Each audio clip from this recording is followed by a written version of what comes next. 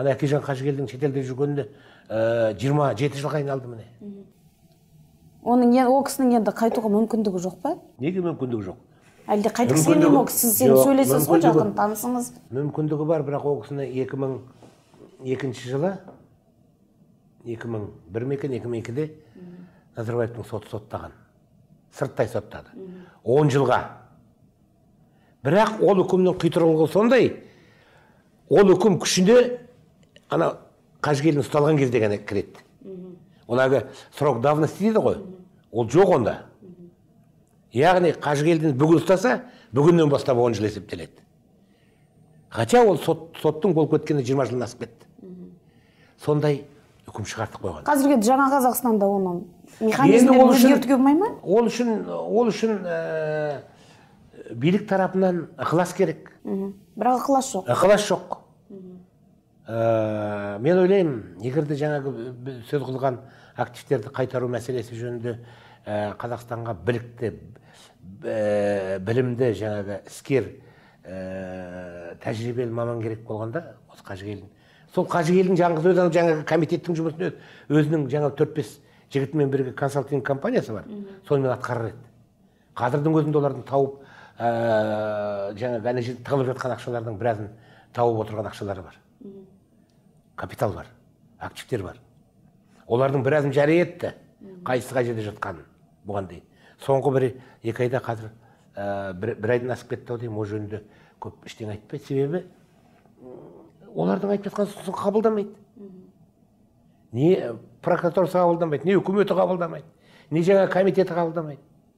Сондықтан олар немене жабық тұрған есікті басымен ұрып несі бар? Сонымен қазір менің ойымша ә, сондай бір ә, жағдай қалыптасқан.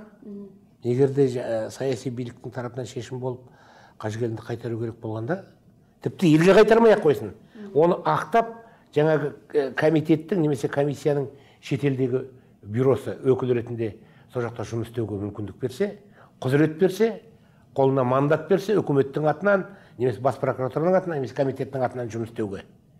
Онда ол әлгі ә, қазір олар қоғамдық ұйым ретінде іздеп жүр қазір. Ә, қазақстан ә, жаңағы оппозицияның шетелдік бюросы деген бар.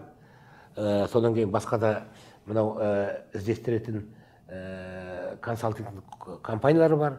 Анау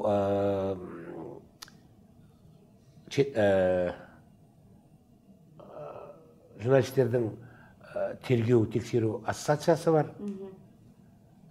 Консорциумы. Анау кезінде ә, пандора жәшігін ашқан офшорлардағы панаманы ашып жаңағы ә, дариға назарбаеваның миллиондарын баласы екеуінің ашып жайлаған. Осының бәрі ә, бәрімен ол, ол кісі жұмыс істеп жүр.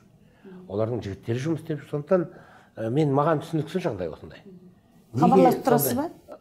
Әрине хабарласып тұрамыз енді сондай жиі емес бірақ дегенмен анда санда сондай хабарласып ә, ой алмасып пікір алмасып тұрамыз. Негізі келгім келеді деп айта ма елге.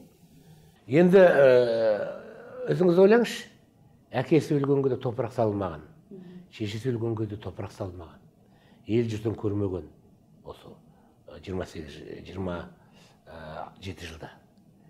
Мына жусанның иісін сағынған өзінің даласын елін халқын сағынған халық әрине ол қалай келгісі келмейді. Бірақ енді ол мен ә, мені қайтар деп сондай бір ә, дабыра қылып жүрген жоқ. Ә, ол енді білікті білгір ә, профессионалдық ә, саясаткер ғой. Сондықтан ол өзінің жұмысын атқарып жатыр. А негізі назарбаев екеуінің ортасында кикілжің неден шыққан? Себебі ә, елдегі даму бағыты теріс кетіп бара жатқанын көріп ә, 2098 жылғы президенттік сайлауда қажыгелдин өзінің кандидат ретінде ұсынды бір мың тоғыз жүз тоқсан сегіз тоқсан тоғызыншы жылдары партия құрды. Назарбаев оны билікке таласты деп қабылдады. Енді президенттік сайлау болғаннан кейін әркімнің қатысуға кімнің мүмкіндігі бар ғой? Азаматтық конституциялық құқығы бар. Сол кезде пайдаланып ол қатысты. Біз елдің дамуын басқа жолмен дамытамыз. Демократиялық принциптер негізінде дамытамыз.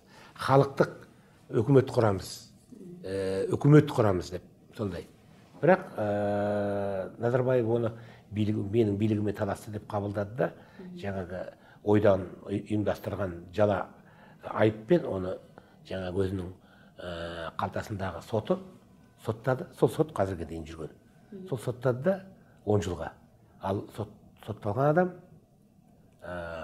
елге ә, келе алмайды сайлауға қатыса алмайды. Оның алдында оны сайлауға қатыстырмау үшін әкімшілік сотпен соттады. Ә, тіркелмеген ұйымның жұмысына қатысқан үшін